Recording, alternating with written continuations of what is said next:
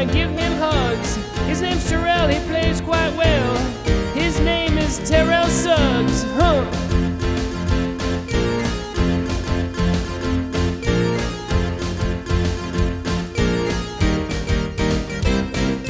How did he learn how to play? How did he learn how to play? How did Terrell learn to play? He learned it from a watching Ray.